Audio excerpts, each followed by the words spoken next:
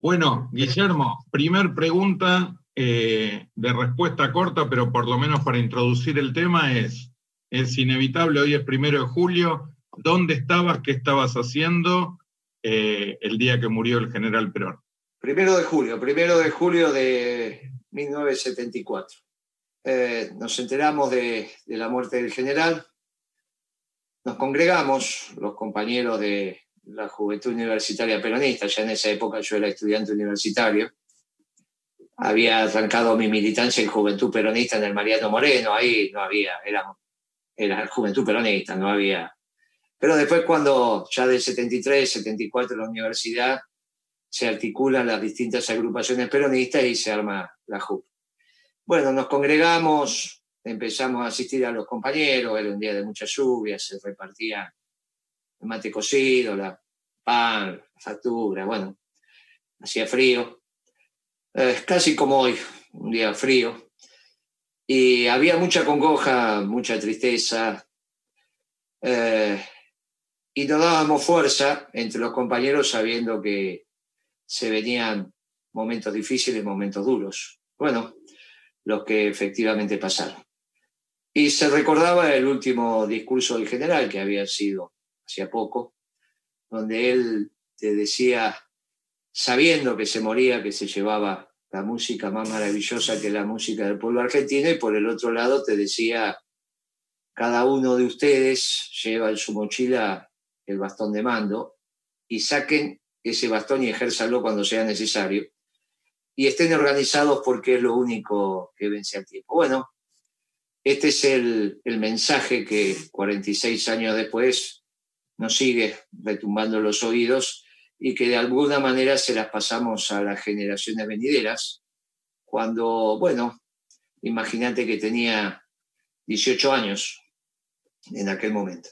Hoy con 64 le decimos el viejo dijo esto, intentamos cumplir. Bueno, Hoy el mundo necesita peronismo, quedó claro. La Argentina necesita peronismo. Quizás lleguemos nosotros a intentar ver el, inicio de una sociedad peronista en la Argentina, pero les va a tocar a las generaciones que nos siguen construir el peronismo en el mundo. Hoy ya no alcanza militar para que el último ladrillo de la Argentina sea peronista, sino hoy hay que militar para que el último ladrillo del mundo sea peronista, que eso traducido significa hasta terminar con la pobreza en el mundo y que reine una justa distribución del ingreso, o sea, una sociedad justicialista en el marco de la comunidad organizada. Guillermo, antes de meternos en el presente, que ya te, te empezaste a meter, una, una pregunta. En tu lectura, ¿hay una continuidad del Perón que llega a la Argentina y gobierna hasta su muerte, del que se fue en el 55? ¿Hay cambios? ¿A qué se debió esos cambios? ¿Cómo lo lees vos? ¿Cómo lo debemos leer nosotros? conceptualmente es el mismo Perón. El mundo era distinto, pero conceptualmente es el mismo Perón, como es conceptualmente el mismo Perón hoy, desde los principios y valores permanentes. Eh, ese Perón de la comunidad organizada, el de los principios y valores, el de la doctrina, está vigente. Naturalmente, una doctrina que se va ayornando a un mundo donde fue pergeniada, donde los ganadores de la Segunda Guerra Mundial estaban inaugurando el nuevo orden, al Perón de los 70, donde claramente el mundo estaba en tensión entre distintos modelos que se expresaban a partir de experiencias revolucionarias con matices, la soviética, la china, la angoleña, la argelina, la cubana, la vietnamita. Y hoy, donde hay eh, el transcurso del tiempo te fue definiendo lo que podía ser y lo que no podía ser. Y hoy lo que está claro que esa tercera posición que Perón planteó, se la planteó a los pueblos del mundo, pero fundamentalmente a los ganadores de la Segunda Guerra Mundial, quedó claro que tenía razón. Por eso nos atrevemos a decir que hay que peronizar el mundo. En síntesis, es la doctrina adecuada a los mundos en cuanto a su implementación que estaban vigentes, porque como Perón decía, es una doctrina viva. Y también decía que el peronismo es una organización de hombres prácticos y esto tiene que ver con el mundo en donde te toca gestionar, pero hay principios y valores permanentes que Perón sostiene y que son los inmutables en nuestra doctrina. Guillermo, sin intención de generar una discusión interna más que una discusión de ideas. Digo, vos acabas de decir que hay como una, yo lo, leo como una especie de disputa entre tal vez un modelo más socialdemócrata y un modelo más peronista. Me gustaría saber, para que entendamos, cuáles son los dos eh, elementos en disputa o cuáles son los dos modelos, en qué se diferencian. Porque digo, hoy mucha gente que está votando al presidente considera estar votando al peronismo, mucha gente peronista hemos votado a Alberto Fernández, por lo tanto, ¿cuáles son, para que entendamos a nivel de debate de ideas, cuáles son, no de malas intenciones, cuáles son los dos modelos que vos notás en pugna dentro de este sector? No, está claro que los peronistas votamos a Alberto Fernández, porque el Partido Justicialista adhirió al frente de todos y tenemos conducta partidaria. Ahora, eh, el Partido Justicialista generó también que no hubiese disputa interna, eh, eligió un reglamento electoral que anulaba la posibilidad de la participación de otras listas. Eh, ¿Cómo lo hizo? ¿Cuál fue la metodología? Bueno, de los 33.000 avales que tenías que presentar si querías ser candidato a presidente, las pasos dentro del Frente de Todos, la mitad de esos avales tenían que ser del Partido Comunista, del Nuevo Encuentro, del Partido de Masa, el Partido Frente Renovador, eh, en fin, de los 15 partidos que integraron el Frente de Todos y el, otro era el Partido Justicialista. Con lo cual, 16.500 avales afiliados al Partido Justicialista y el resto, bueno, imposible, porque yo no sé ni dónde viven los afiliados al Partido Comunista, del Nuevo Encuentro, los de Masa, esto es absolutamente ridículo. Cuando hicieron ese reglamento electoral, quedó claro que lo estaban haciendo para que hubiese una única forma. Claro, eso inhibió el debate interno y entonces ahora tenemos que reflexionar sobre esto. Por ejemplo, si hubiese habido debate interno, hubiésemos podido, en el mundo de nuestra especificidad que tiene que ver con la economía, preguntarle a Alberto, mire, ¿usted adhiere a la visión de que el peronismo tiene que construir una economía social de mercado, como dice el ministro Guzmán, se lo hubiésemos preguntado en aquel momento, y que previo a esto lo había explicado al Sogaray, o tiene una visión de una economía justicialista. Entonces Alberto Fernández hubiese dicho, eh, seguramente en campaña hubiese dicho una economía justicialista. Bueno, pero entonces si es una economía justicialista, no es una economía social de mercado.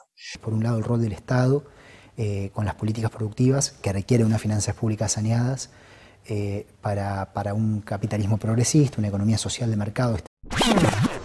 ¿En qué, ¿Cuál es una diferencia central y obviamente en el, en el esquema ordenador de la economía se encuentran diferencias sustantivas con el peronismo, no con el neoliberalismo de los socialdemócratas. Por eso uno dice, mire que en el consenso de Washington se entró por la puerta derecha y por la puerta izquierda. Por la puerta derecha los neoliberales, por la puerta izquierda los socialdemócratas, pero resulta que los socialdemócratas en economía también son neoliberales. Por eso, de alguna manera, Caballo estuvo en un gobierno neoliberal y en un gobierno socialdemócrata. El elemento común tiene que ver con la visión de cómo se producen, pero sobre todo cómo circulan los bienes y servicios al interior de esta economía neoliberal y de esta economía socialdemócrata y cómo se producen y cómo circulan en una economía peronista. Obviamente que después hay otras diferencias desde otras disciplinas, pero ahí se los dejamos a los expertos y en este caso vamos a profundizar desde lo que uno considera que tiene cierta expertise. Mire, el primero que habló de economía social de mercado en la Argentina fue con precisión, ¿eh? público, fue Álvaro Sogaray, el que hizo popular el término en el gobierno de economía social de mercado. Al Sogaray tenía algún desorden en la cabeza, eh, no era un hombre que venía de la economía, era un hombre que venía de la ingeniería, eh, la disciplina económica dentro de todo es una disciplina nueva, de la década del 60 del siglo pasado. Para algunos jóvenes eh, eso es una eternidad, para nosotros, está bien, es una disciplina joven, igual que la sociología y algunas otras que después fueron derivaciones que se fueron dando de la economía, pero la economía como corpus también es una disciplina joven. Por eso los ministros de Economía, cuando nosotros estudiamos la historia del desarrollo económico contemporáneo, nos encontramos con ingenieros o nos encontramos con abogados. Eh, empiezan a emerger los, ministros de Economía economistas, yo te diría bastante después de la dictadura, porque en el caso de, Alfonsín, te diría que es, me parece que el que es economista es Jesús Rodríguez, pero estuvo muy poquito tiempo. Los demás o eran contadores, o eran abogados, o eran ingenieros. Y en ese marco, al Sogaray, que se definía como liberal, en realidad cuando hablaba de economía, hablaba como neoliberal. El neoliberalismo tiene sus raíces, lo que ahora se llama neoliberalismo, en realidad son los neoclásicos, que es la escuela que comúnmente se denomina la escuela austríaca. Parte de esto hoy es lo que habla Milley. Milley. Cuando dice, bueno, nosotros los austríacos, los anarcocapitalistas, nosotros los libertarios, nosotros. Ahí hay una, un hiato muy profundo, una diferencia sustantiva entre lo que uno llama la economía clásica, que esto, para dar algunos nombres, estamos hablando de Adam Smith, de David Ricardo, estamos hablando de Marx, y los neoclásicos, que son del fin del siglo XIX, entre los cuales uno de los principales de ellos es Schumpeter, también un austríaco que después se formó en Inglaterra, con historias de las Europas. Eh, ahí hay, de esa escuela austríaca, eh, hay un elemento originante, quizás extremadamente técnico, pero que marca una diferencia fundamental que es por qué valen las cosas. ¿Cuál es el valor de las cosas? ¿Por qué algo vale? ¿Por qué una Ferrari vale lo que vale? Una obra de arte vale lo que vale, un kilo de pan vale lo que vale, un celular vale lo que vale. Ahí hay dos grandes visiones. Los que decimos, miren, esto tiene que ver con el trabajo incorporado. Decimos, mire, acá hay materias primas, acá hay trabajo incorporado, esas materias primas son materias primas porque alguien también las produjo. Y entonces tomemos el trabajo como medida de las cosas. Y ese trabajo como medida de las cosas, puesta en las cosas. Esa es la teoría objetiva del valor. Pero se agarra de esto, si bien no es un economista, pero te plantea la sociedad desde una sola clase social y te dice hay una sola clase de hombres los que trabajan. El trabajo para Perón es un tema central. A diferencia de los marxistas, dice se puede trabajar de empresario, se puede trabajar de banquero, se puede trabajar de productor agropecuario, se puede trabajar de director de cine, no se puede trabajar de oligarca porque eso no es trabajo. Ese vive de renta, no vive de su trabajo. Por eso la, dicotomía entre trabajadores y oligarcas para Perón es central, porque dice, hay una sola clase de hombres los que trabajan y están los oligarcas, que viven sin trabajar. Y de ahí el precepto bíblico, te ganarás el pan con el sudor de tu frente, viento esta historia. Para la escuela austríaca, las cosas no valen por el trabajo incorporado. No hay una medida objetiva de la posibilidad de decir por qué valen las cosas, sino que las cosas valen por la capacidad que tiene el de compra, el que compra, de quererlas. Por eso una obra de arte puede valer lo que vale. Va a decir, che, bueno, a Picasso le llevó siete noches, o seis noches, seis meses de noches, mientras hacía sus festichoras ahí, hacer el Guernica. Bueno, no lo sabemos. Pero escúchame, el trabajo de Picasso es el trabajo de cualquier pintor y sin embargo la de Picasso vale. Entonces, si vos me lo decís por las horas de trabajo, claro, ahí se incorpora la necesidad que tiene de poseer el que quiere consumir, el que la quiere consumir o poseer. Poseer es que la tiene y no, se, y no se termina, y consumir es que la tiene y se termina. Por ejemplo, cuando vos compras un kilo de pan, lo consumís, se termina. Compras una obra de arte, lo, lo lógico es que no la destruyas, te va a quedar. Entonces, poseer y consumir, poseer e invertir, ¿está bien? Fíjate que las obras de arte después vienen por poseer e invertir. O sea, las tengo porque invierto, las miro, las disfruto y aparte, bien, es una inversión para el que la compra. Eso también hace la diferencia entre los bienes que desaparecen en el proceso de, consumo y los que no se consumen y permanecen. Ahí viene el tema de, la, de, las maquinarias, de las herramientas y maquinarias, y el avance de las herramientas y máquinas te va dando la tecnología, el estado del arte para que produzca las cosas. No es lo mismo como hacían el pan a fin del siglo XIX como lo hacen ahora, y ahí viene todo el debate sobre la tecnología, que es un debate muy actual porque tiene que ver de si reemplaza mano de obra, si no reemplaza mano de obra y todo este debate. Pero volviendo al origen de la pregunta, entonces tenemos una primera matriz diversificada. Las cosas valen porque valen o las por el trabajo incorporado y vos lo podés medir, calcular, hacer costos, bla, bla.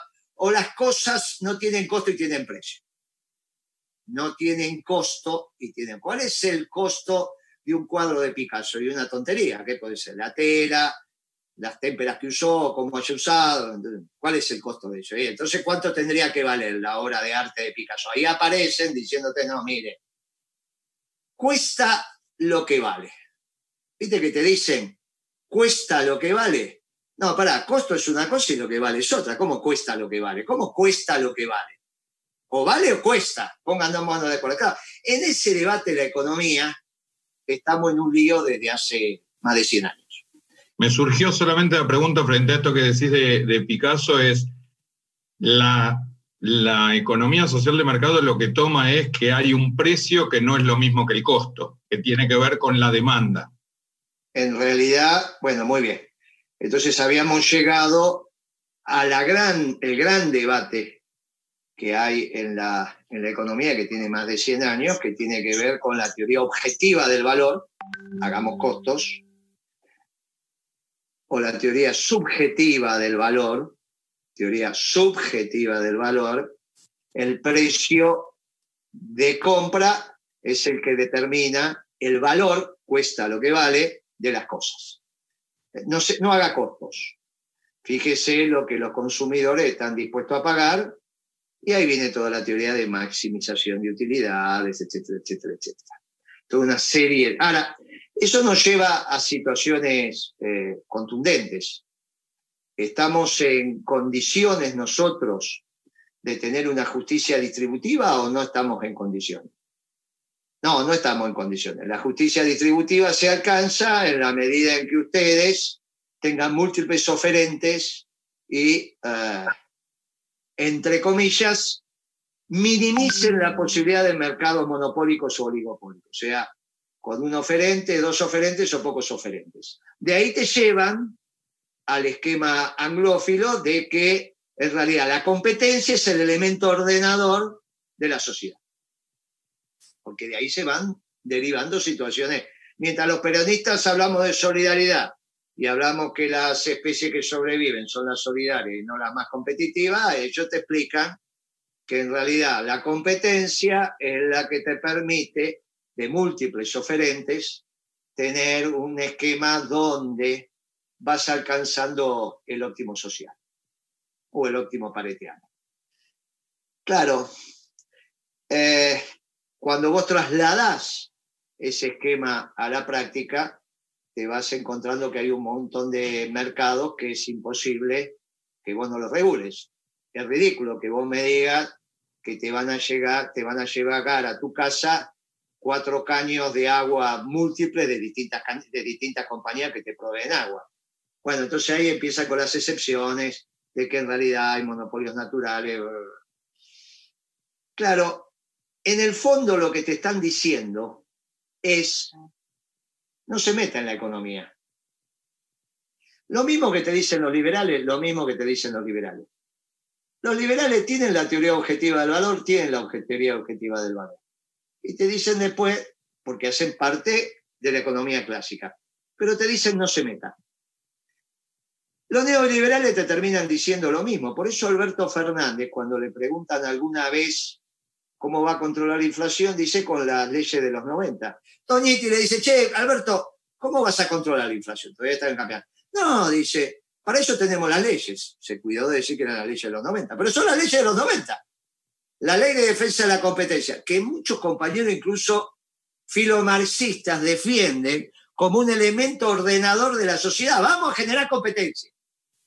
Cuando vos lo que tenés que decir es, mire, yo en los mercados no es su problema de competencia, es su problema si el Estado justicialista, teniendo los costos, puede regular el precio de venta y entonces define una ganancia justa y razonable. Ah, bueno, pero hay un montón de productos que no tiene usted los costos. Claro, está bien. Sobre los cuadros de Picasso, hasta le podría dar la razón, ¿no? Que no hay un costo, que no tiene relación el costo con el precio de venta. Ahora, no me hace a la felicidad del pueblo. Por eso Perón pone como elemento ordenador de la economía justicialista la felicidad del pueblo junto con la grandeza de la patria. Y por eso uno dice, mire, nosotros adscribimos a la teoría objetiva del valor y tengo una presencia suficiente del Estado. No somos estatistas, suficiente del Estado en el espacio regulatorio de la circulación de la mercadería, que es el comercio, el mercado. El mercado bien entendido, no la cito. Ahí lo que sí respetamos es el derecho de propiedad porque tiene que ver con un principio y valor ordenador derecho peronista.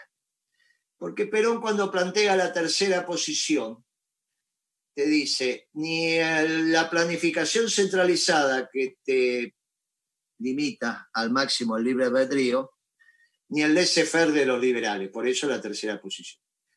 Eh, el problema de la planificación centralizada que no solo planificas la oferta, sino que la planificación centralizada es porque planificas la demanda. Por eso los cupos de consumo. ¿Y por qué tenés que planificar la demanda también? Y porque en realidad el sistema de planificación centralizada no resolvió el tema de los incentivos y no resolvió correctamente la utilización de los insumos para la producción de un bien. Eso sí lo resolvió el sistema capitalista. Minimiza la utilización de insumos para la producción de un bien. Entonces, cuando vos ordenás, obviamente, estábamos diciendo y lo repetimos, que la obra de arte de Picasso eh, poco tiene que ver con los costos y las horas de trabajo incorporadas. Pero también poco tiene que ver, salvo que estén en un museo, con la felicidad de nuestro pueblo. Entonces, eh, lo que determina el grado cuando Perón dice, bueno, buscamos la felicidad de nuestro pueblo, tiene que ver con el acceso a los bienes y servicios. Ese acceso a los bienes y servicios tiene que ver con el consumo masivo de nuestro pueblo. Y ese consumo masivo de nuestro pueblo, que es el que garantiza el piso de, equidad, sí tiene que tener una, una relación directa con los costos. Por eso la Secretaría de Comercio hacía costos. La Secretaría de la histórica Secretaría de Comercio, la que nosotros recreamos, lo que hacía era generar costos para tener los márgenes de ganancia. Sin, sin costos no hay márgenes de ganancia. ¿Qué te ofrece Guzmán con la economía social de mercado? No haga costos. ¿Qué te dijo Alberto Fernández? No se metan los costos, lo vamos a resolver con la defensa de la competencia. Claro, el problema es que hay productos que en realidad nosotros no tenemos mercado en la Argentina para que haya competencia más allá de la importación. ¿Cuántas fábricas de aluminio vamos a tener en la Argentina? ¿Cuántas fábricas de acero podemos tener en la Argentina de la magnitud que tiene este chip? Bueno, ahí vienen las visiones marxistas de Tatizar, violentando la propiedad privada, o ahí viene la visión socialdemócrata, neoliberal, que tiene que ver con importemos, porque la única posibilidad de vos tener competencia de aluar, dado que el mercado no te da para dos, tres aluar en la Argentina, es que importes aluminio. Con la posibilidad que el aluminio que vos traigas esté más barato. Y si está más barato, entonces tenés que cerrar al lugar. Bueno, de alguna manera era el pensamiento. No necesariamente de Alzogaray, pero sí era el pensamiento de Caballo, que siendo neoliberal podía estar en los dos gobiernos. Eh, por eso los dos son de los flujos internacionales de comercio y los dos auspician el consenso de Washington y los dos son globalizadores. ¿Qué te dice Alberto Fernández? ¿Qué es un globalizador? Que la globalización vino para quedarse. ¿Qué decimos los peronistas? Que en realidad somos nacionalistas. ¿De exclusión? No, de inclusión. Tenemos la celeste y blanca dibujada en la piel. ¿De exclusión levantamos muros? No, de inclusión construimos puentes. Pero claro, la economía socialdemócrata en su conceptualización que tiene que ver con la teoría subjetiva del valor, lo que te dice es, mire, el Estado no tiene que participar. Después se le pianta la vena y hace lo que hace con Vicentín, pero no está en su pensamiento profundo. Conclusión, en una economía de, de justicialista vos vas a tener el sector privado produciendo bienes y servicios en el esquema capitalista de producción porque es el que minimiza la utilización de insumos, maximizando la producción de bienes y servicios, y en eso es muy eficiente, muy eficiente, mucho más eficiente que el sistema de planificación centralizada, pero es espantosamente ineficiente en la distribución. Y ahí es donde arranca el peronismo. Y el peronismo estudia costos y define precios. Muy bien, todos los precios no, por eso nosotros decimos, mire, hay una canasta de productos que tiene que ver con lo masivo en términos de bien y de servicio, donde el Estado opera desde una visión justicialista que aunque usted sea el único productor en el caso de Aluar y de Madanes con aluminio, nosotros, desde el, el ordenador del bien común, que es el Estado, déjenos que analizar los costos justamente con usted, que nos pusimos de acuerdo porque de última son costos contables, definamos el precio de acceso en el mercado de ese bien con una ganancia justa y razonable. Lo que ellos lo construyen a partir de la competencia y la visión anglófila, nosotros lo construimos a partir del bien común. Quiero tener aluminio y déjeme que en la comunidad organizada la tasa de ganancia sea la justa y razonable. Claro, acá hay una impronta de participar desde el Estado, que no tiene que ver con la multiplicidad de regulación, sino un Estado, el justo y necesario para que esta economía se dé. Usted produce el aluminio y nos ponemos de acuerdo sobre el precio de venta en los distintos niveles. Vendrá alguno y te dirá, mire, pero este aluminio es para un producto premium. Bueno, usted camine ahí. La verdad que nosotros estamos para garantizar el consumo de los sectores populares. Todo lo que tenga que ver con el aluminio en los sectores populares, ¿dónde tiene que ver el aluminio? Y en los envases tiene que ver con muchas de, de, las aperturas, tiene que ver, bueno, en múltiples lugares donde se utiliza aluminio. Bien, obviamente que el nivel de conversación en una economía justicialista es importante. Al principio, porque todavía no está instalado el tema de la comunidad organizada. En la medida en que se consolida la, comunidad organizada también comunidad cultural deja de conversar, de conversar, porque esto es, pasa a ser constitutivo del empresario que produce.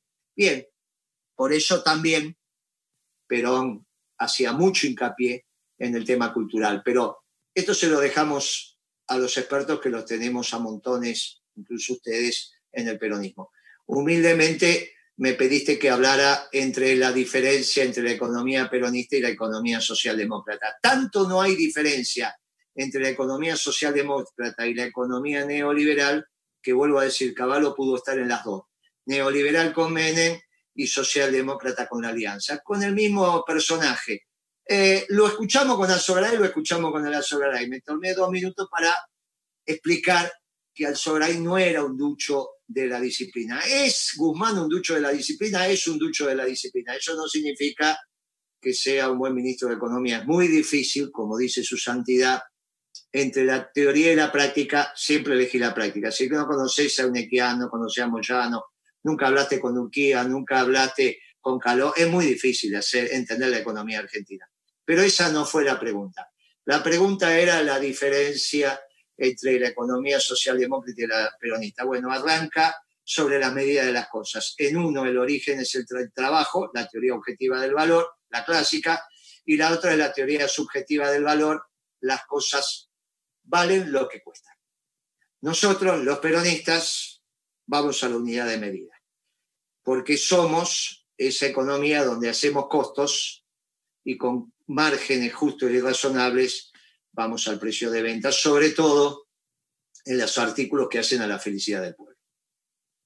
Me queda para, para el próximo encuentro, si podemos hacerlo, me queda como continuidad de esto, cómo logró el neoliberalismo transmitir esta idea que lo que vos llamás eh, socialdemocracia, que se parece mucho al neoliberalismo, es un estatismo al que se acusa hoy, o cada vez que aparece la figura del peronismo, más socialdemócrata o más peronista, aparece como una figura del estatismo invasor. Hoy se habla del, del comunismo. Es que, esos, es que esos no son necesariamente los neoliberales. Esos quizás son los liberales, que son otra cosa.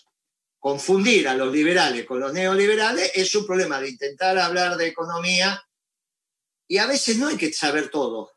Y hay que utilizar las categorías donde hay que utilizarlas. Vos sos un experto de esto y yo no me meto, me someto a tus indicaciones. Ahora, no necesitamos saber de todo. Cuando utilizamos la categoría neoliberal en economía, está absolutamente disociada de la economía, de, de la categoría liberal.